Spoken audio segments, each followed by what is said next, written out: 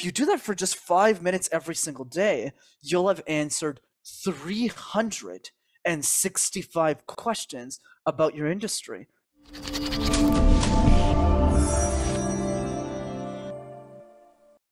Talk to me about using questions to, to drill. A big takeaway for me with you, Brenden, as I've spent some time with you, is really being a craftsman and having the mindset of doing the work to improve the outcomes because you're not magically going to become a better communicator.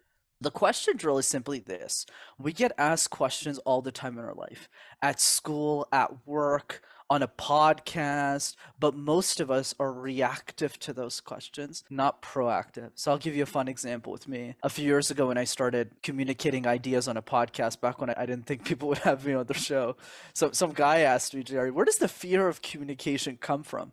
And I looked at him and I don't know, man, London? New York City?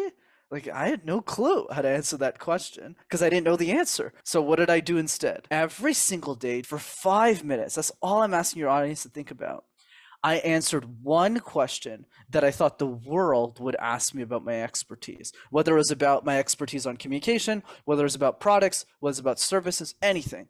But if you do that for just five minutes every single day, you'll have answered 365 questions about your industry and you'll be bulletproof. And especially if you're the CEO, if you're on the sales team for your product, the ROI is much greater because then when you go on a prospecting call, you're having a discussion with the potential client.